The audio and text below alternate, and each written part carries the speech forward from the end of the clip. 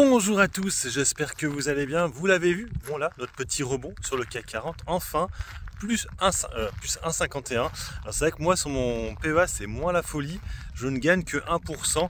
Pour le coup, j'ai vérifié, ça doit être ça, hein, c'est pas le bug de Bourse Direct, 1%. Euh, c'est vrai qu'il y a des dossiers qui ne font pas grand chose, malheureusement, dans ce que j'ai acheté. Euh, par exemple, Interparfum et Ali qui fait rien. Et puis j'ai mon BX4 qui est toujours là, qui du coup perd hein, un petit peu, 3% aujourd'hui. Euh, alors après, est-ce que ça va perdurer? J'en sais rien. Alors là, je vais revenir un peu sur ce qui s'est passé et ce qui explique quand même que ce VIX est monté si haut lundi. Avec le recul maintenant, on peut le savoir. En fait, ça a été la combinaison de trois choses. Bon, déjà l'histoire de Nvidia, ça je vous en ai parlé. Hein. Il y a eu l'histoire aussi, mais ça je vous en ai parlé aussi, bah, les tensions en Extrême-Orient, euh, Moyen-Orient plutôt. C'est que ça je crois pas que c'est l'extrême-orient. Bon bref. Et troisième chose, et c'est vrai que ça je connais pas assez, c'est le marché japonais. Effectivement, ouais, j'ai compris ce qui s'est passé.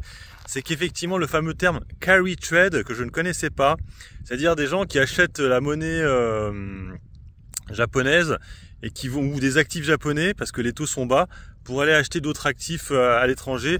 Et en fait, euh, vu que la banque centrale japonaise a annoncé qu'elle allait remonter leurs taux, bah les mecs ils se sont dit oula, ça va pas très bien ça, et du coup ben il y a eu un effondrement Hein, alors, faut savoir qu'en plus, les indices japonais étaient très très très hauts. Et du coup, la banque centrale euh, a annoncé que finalement, ils allaient réfléchir. Voilà.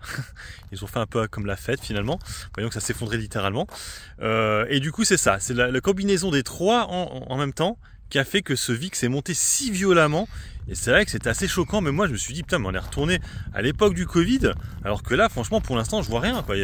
Il, parlait de récession là du travail, mais franchement, les chiffres du travail, ça pas non plus. C'était pas très bon, mais c'est pas une catastrophe non plus. Hein. Faut les suivre à chaque fois, les chiffres du travail. Hein. C'est parce qu'une fois, ils commencent à chuter un peu trop que c'est la récession, quoi. Calmos. C'est pour ça que moi je continue à acheter.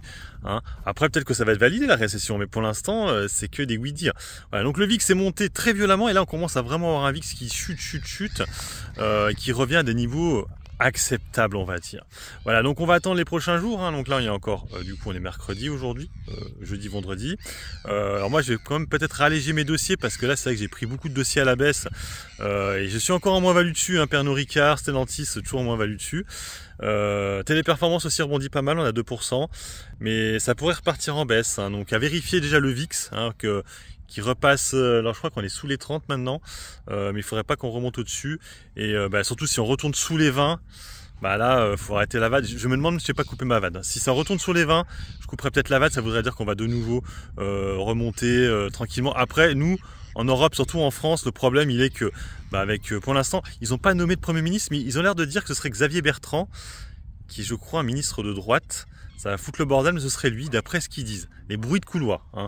Après, peut-être que je, ce sera pas ça. Les Jeux Olympiques, ça se finit euh, ce week-end. Hein. Donc après, normalement, je crois qu'il doit, le, nommer, je crois, il me semble. Je crois le 18 août ou un truc comme ça. Donc ça va pas tarder à arriver, on va savoir où est-ce qu'on va. Hein. et ça, moi, j'attends avec impatience. Et le 15 août aussi, j'attends avec impatience les résultats de Adyen. Parce que si ça s'effondre, J'en prendrai peut-être. Tiens, en, parlant de ça, euh, Novo Nordisk a, fait un profit warning et du coup ça s'est pas mal effondré. C'est pour ça que mon ETF VERE euh, patauge un peu. Hein. Il est légèrement vert mais il est pas pas dingue parce que Novo Nordisk, qui était une grosse pondération, euh, a fait un profit warning et du coup ça chute. Comme quoi, vous faire attention avec ces valeurs qui ne font que monter. Euh, quand ça commence un peu à, à patauger, on va dire, eh ben ça pique, hein, ça pique. Hein, et du coup Novo Nordisk. Voilà, sur ce, moi je vous laisse. Bon investissement à tous et puis bon trade. Ciao ciao